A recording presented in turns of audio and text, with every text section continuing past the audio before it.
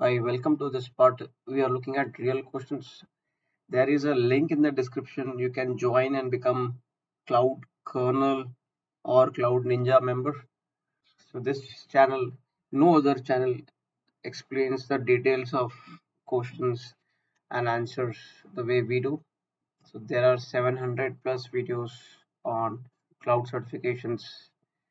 Let's look at this question now. Which AWS services can a company use to host and run MySQL database?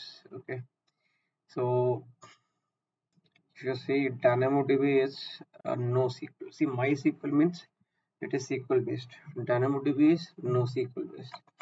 So NoSQL based will it will not work. So it is simple. And uh, other cool fact is applications like Uber use DynamoDB type of databases, high performance database which has consumed Viagra. See here we are talking about database. So how come S3 which is a cloud object store fit in? It will not fit in. See S3 you can keep objects, you can keep your files, images, videos. If we talk about MQ, MQ is a message queuing service like a message broker with real-time integrations we use it. For example sensors are sending some real-time data. So we use it that time. Here uh, mq will not help you with storage of data. It will just store messages 100 messages 200 messages and it will keep sending to the target. So these are our two answers. Rds is relational database the name itself, the full form is Relational Database Service RDS. So you can fire SQL queries. It supports MySQL, Postgres, Maria database, Oracle, SQL Server. And then MySQL database you can also put on EC2 instances. See what is the difference?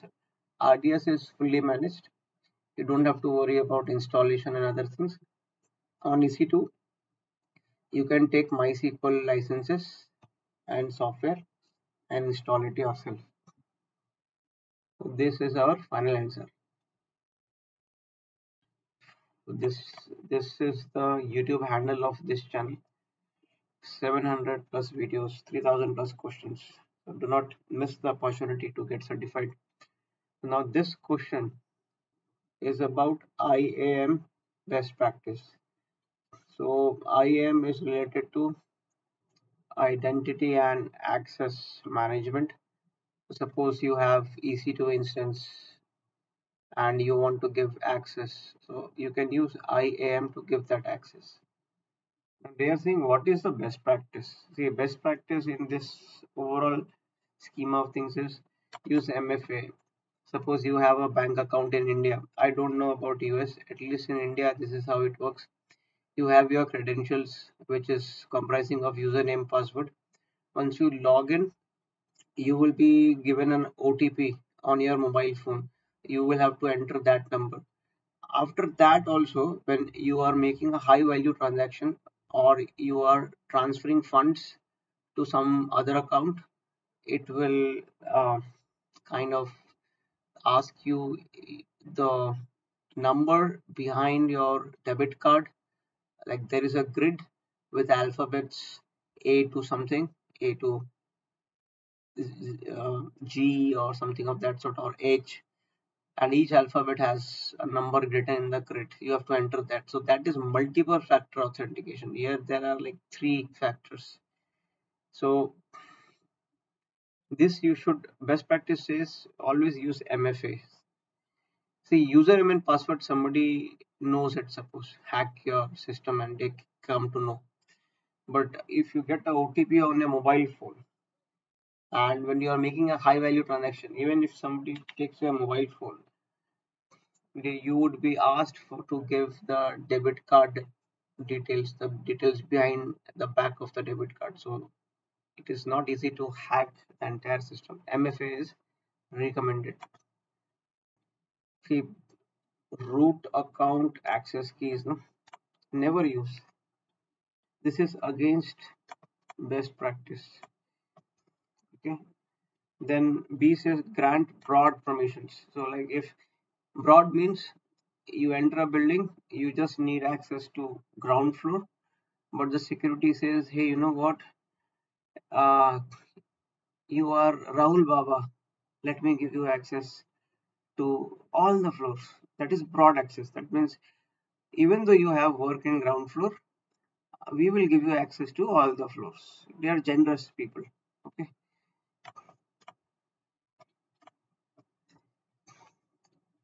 So from a security standpoint this is against best practice. Security best practice suggests you should get access only for what you require. If you just want to go to ground floor we will give you access only to ground floor d says avoid rotating credentials to prevent issues. See you should rotate credentials frequently. This is such a false statement that you should avoid no boss you should keep rotating your credentials so that if somebody hacks your credentials you rotate it. Like for example your passwords. You keep changing it every three months. That way the chances of your bank account getting hacked is very less. This is the final answer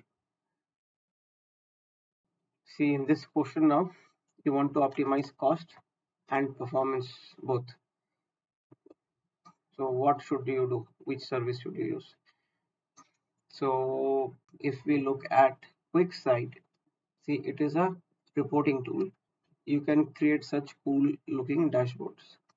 It it will not help you with cost optimization okay? Similarly budgets budgets will not help you with performance optimization. Budgets are about cost. It's like you kind of like at your home what happens? First of every month you set a budget. You are saying that okay utilities i spend this much. Food i spend this much. Movies i will spend this much. Uh, movies like Adi, Adipurush where the dialogues some of the dialogues are poorly written but i will still watch and i will spend money on popcorn and coke and so on so i'll spend this much. That is a budget. And usually what we try to do is we keep uh, we try to stick to the budget. But in this question see it is not only cost it is also about performance. Budgets will not help you with performance. So that is why budgets is wrong. Now if you see um, organizations organization is about it helps you with account management okay? So that means it lets you consolidate multiple aws accounts.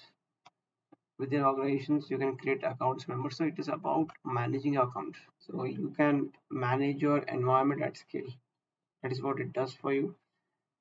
And this is how it works. You can create an account add accounts group accounts apply policies enable services. So it does not fit in. Now trusted advisor this is born for this purpose. It will help you with cost optimization. It will help you improve performance. Okay. So you see these ai prompts this is an addition that comes with chrome and you can use it okay and it advisor also helps you with security. So cost performance security. Cost performance security. So what else? See the cost optimization performance security fault tolerance service limits. All five. This would be the final answer. Okay so now you have a company and this company needs data warehouse and analytical workloads and it should support SQL queries. The moment I see data warehouse, I always think about a service called Redshift. So this is Redshift. It helps you create databases. It's not database, it's a data warehouse. Simple. It is not a database, it is a data warehouse. Okay. One.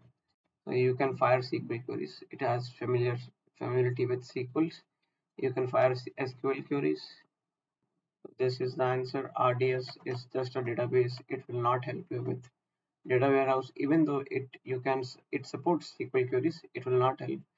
And then we are talking about Athena. Athena is you can analyze lots of data with ease and flexibility using Athena. It supports SQL as well as Python. It is based on open source Trino and Presto engines basically it is not a database it is not a data warehouse as well and then we have EMR EMR the moment you see EMR EMR is about big data big data So you can run and scale Apache Spark, Hive, Presto, and other big data workloads. It's all about big data. Our question is not talking about big data. It is talking about data warehouse. So if that is the case, why we would choose EMR? So this would be our final answer. This is the YouTube handle 700 plus videos, 3000 plus questions on various AWS certifications, Azure certifications, Snowflake, Google Cloud, Tableau, Qlik and so on. Everything is linked with the cloud journey. So which AWS service you should use to run um, your company's on-premises data center. Which solution provides the ability for a company to run AWS services in company? So that means what is the AWS service? For example, EC2. For example, RDS. Okay, so it is common sense. This will run on AWS, but you want to make it run on premises. You have a hybrid structure. Hybrid means what? Hybrid means on premises plus cloud. On premises plus AWS cloud. On premises plus AWS cloud. Some services are in on premises, some are in AWS cloud. Now you want things which are there in AWS cloud, you want those to run on premises. If you want that to happen, use Outpost family. You can run AWS infrastructure and services on premises for a truly hybrid experience. And with this, I will also let you know when the journey of cloud started and the market started, you know, gained the traction 2018 onwards. People were saying, hey, everything should go on cloud. But later they started realizing that everything if you push on cloud you would go bankrupt it will cost you so much to maintain your services then they say hey hey, hey you know what uh, what about using another cloud which is cheaper and etc like oracle cloud is cheaper then they came with the concept hey multi-cloud so the cheaper stuff not so important stuff we will keep in oracle cloud. The important stuff high performance stuff we will keep it on aws then they told okay boss this is also costly. Can we still use high uh, still use on premises and they came with the approach called hybrid approach. Now since the hybrid approach came aws also aws in 2016 onwards they were saying boss move everything to my environment. Now aws says boss up to you. You want to move here? We are fine. You want to play a hybrid we still have outpost which will help you with that. Okay? You see how the truth the reality changes year after year. Okay? Now see direct connect. If you have your own data center of uh, on premises and you want to connect to aws using your dedicated line so that nobody else can use it then you use direct connect. Direct connect is very costly. It is like you know instead of having one wife having five wives. It is very costly man now storage gateway is about you know you have what happens in storage gateway you have this gateway which will help you store the objects from your on-premises to aws cloud s3 buckets. So that way you can make use of your cloud storage options storage gateways useful that way. So on-premises applications will get access to virtually unlimited cloud storage. So if you are just on on-premises and you want unlimited storage it will not happen right? It will not happen because things are finite but with cloud things are infinite so if you want that you plug a uh, storage gateway between on-premises and cloud and start using infinite storage of AWS cloud. In the business world, this is called leverage. What it means is if you don't have the contact, but your friend has a contact, use your friend's contact to still become rich man. A lot of startups and entrepreneurs do that. Now let us look at C systems manager hybrid activations. Okay, so what is a system manager useful for?